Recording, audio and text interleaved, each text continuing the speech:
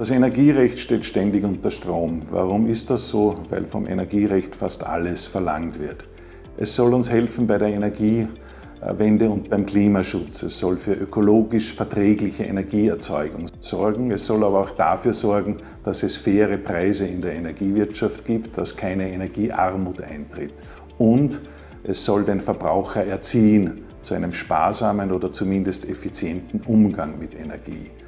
Und weil dieses Rechtsgebiet so weit ausgreift, weil es ein Regelungsmonster geworden ist, das von der Erzeugung bis zum Verbrauch alle Bereiche der Energie umfasst, ist es mittlerweile schwer überschaubar geworden. Wir können grob gesagt drei große Blöcke unterscheiden. Der erste ist das Recht der Energieerzeugung, ob es jetzt Windkraft ist, Wasserkraft oder Photovoltaik.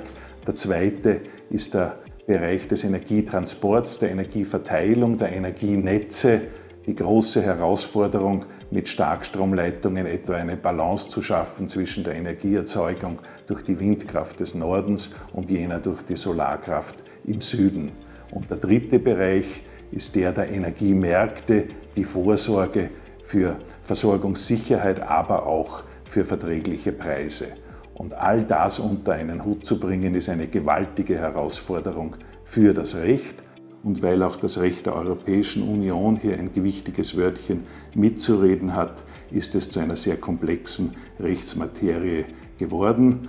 Um diese Rechtsmaterie zu verstehen, zu durchdringen und anwenden zu können, braucht es vor allem eines, recht viel juristische Energie.